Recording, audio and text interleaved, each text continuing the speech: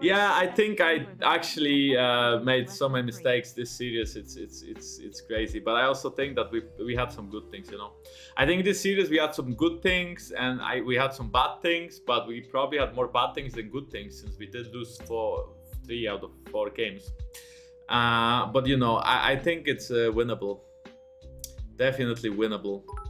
Well, the first game was a stone, but they also troll banned a lot, right? Like the first game was a stone because they troll banned. And I would say game four was kind of a stump as well from their side, right? So me and Caps were doing good, you think so? I'm not sure. I feel like we we could do so much more, you know? I feel like everyone could do so much more.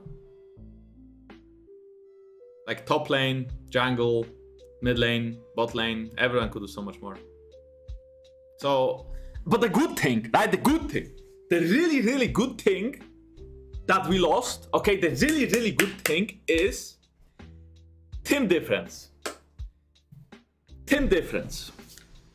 Because it means that we are just worse as a team and not that, oh, Canyon just 1v9. Of course, Canyon would never 1v9 against me. Because if Canyon tried to 1v9 against me, I would just stop him from doing that. And it never happened that enemy jungle actually 1v9.